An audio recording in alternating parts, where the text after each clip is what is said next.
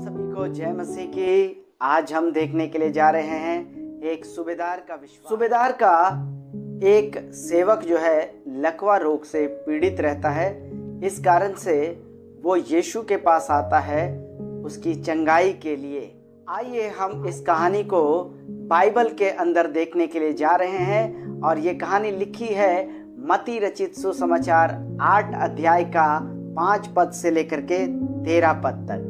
लेकिन हम कुछ बातों को देखेंगे और कुछ बातों को रहने देंगे, को पढ़ने शुरू कर रहे हैं। जब वह कफरनहूम में आया तो एक सूबेदार ने उसके पास आकर उससे विनती की।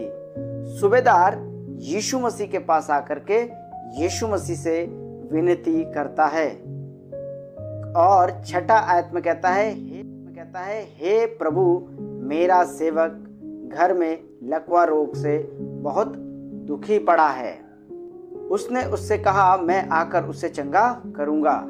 जब सूबेदार ने कहा यीशु मसीह से कि मेरा सेवक बीमार है तो यीशु मसीह ने कहा कि मैं आकर उसे चंगा करूँगा। लेकिन आठवां आयत में सूबेदार ने क्या कहा? सूबेदार ने उत्तर दिया, हे प्रभु, मैं इसे योग्य नहीं कि तू मेरी छत तले आए। परंतु केवल मुख से कह दे तो मेरा सेवक चंगा हो जाएगा, क्योंकि मैं भी पराधीन मनुष्य हूँ और सिपाही मेरे अधीन है।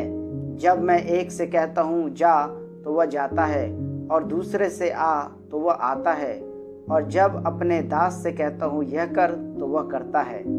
इससे हमें पता चलता है कि ये जो सूबेदार है, कोई मामूली व्यक्ति नहीं है, साधारण व्यक्ति नहीं है लेकिन एक ऊँचे पद पर रहने वाला व्यक्ति है, क्योंकि ये जिस किसी को आज्ञा देता है, वो उस कार्य को करते हैं। लेकिन आगे जब उन्होंने अपना, सूबेदार ने अपना विश्वास को प्रकट किया तो यीशु ने उसके बारे में क्या कहा? देखिए तेरा आयत में। तब यीशु ने सूबेदार से कहा, जा, जैसा तेरा विश्वास है, वैसा ही तेरे लिए हो, और उसका सेवक उसी घड़ी चंगा हो गया।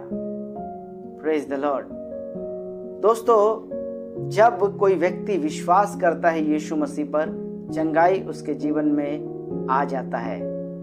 इस सूबेदार ने यीशु मसीह पर विश्वास किया और उसका सेवक चंगा हो गया। यदि आज हमारे घर में या हमारे आसपास में जिनसे हम प्यार करते हैं, वो यदि बीमार है तो हम यीशु मसीह के नाम से और यीशु मसीह से प्रार्थना करें। उनसे निवेदन करें तो हम भी चंगाई को प्राप्त कर सकते हैं, क्योंकि यीशु मसीह आज भी ज़िंदा है। गॉड ब्लेस यू परमेश्वर आपको आशीष करे।